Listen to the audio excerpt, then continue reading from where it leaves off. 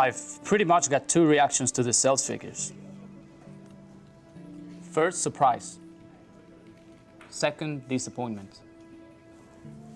I understand. Uh, there's often a mismatch between forecasts and actual results. That may be. But if there's a difference in figures, it should be with higher sales, not lower.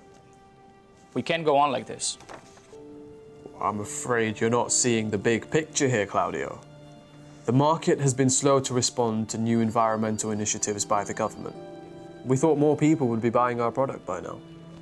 We're only hearing about this now. You told me that Katie had this under control, that she made realistic estimates. Yes, she does, I assure you. Sanji, if this is under control, I'd hate to see what out of control looks like. Well, you have to remember that we predicted this might happen. This should not come as a surprise. We expected lower figures this quarter and warned you about them. Katie is very good at what she does, and she is very close to the market in Bangladesh.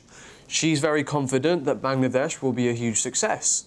We just need to give it a little more time to pick up. Really?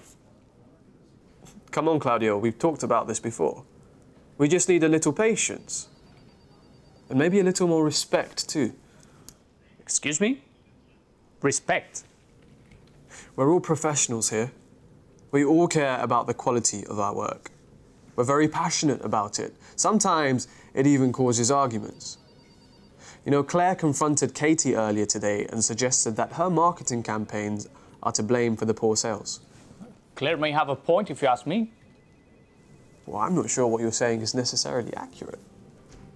You know, we implemented your expert, Gary's new ideas on those campaigns. That still didn't help.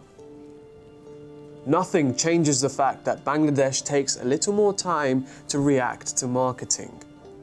We shouldn't change the campaign now. So you're telling me that sales will increase, just very slowly? That's right. Everything will be okay. If you say so. We'll hold off on any changes to the campaign for now.